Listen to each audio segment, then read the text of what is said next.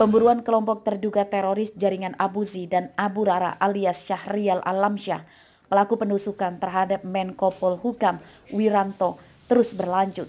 Hari Senin, tim Densus 88 anti teror berhasil menangkap empat terduga teroris di Bandar Lampung dari jaringan Ansaraut Daulah atau JAD yang berafiliasi dengan ISIS.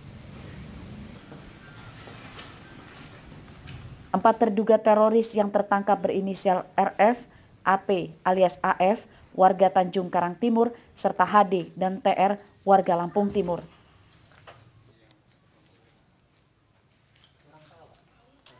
Keempatnya ditangkap di sebuah rumah makan di wilayah Jalan Pangeran Antasari, Bandar Lampung. Pengembangan dari penangkapan empat terduga teroris itu, petugas gabungan dari Densus 88 Anti Teror dan Polresta Bandar Lampung kemudian menggeledah sebuah gudang usaha lampu di Kelurahan Kaliawi, Bandar Lampung. Lokasi gudang ini sebagai tempat menginap para pelaku karena salah satunya merupakan pekerja harian lepas dari gudang ini. Dari penggeledahan, petugas menemukan sejumlah barang bukti berupa lima butir peluru aktif, laptop, ponsel, serta sejumlah alat yang diduga digunakan untuk merakit bom.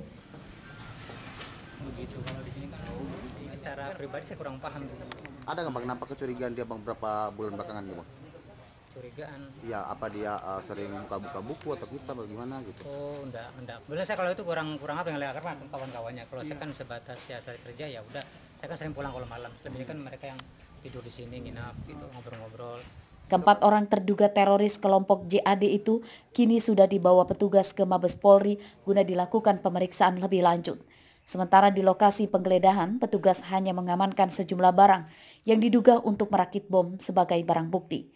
Robi Laste melaporkan dari Bandar Lampung.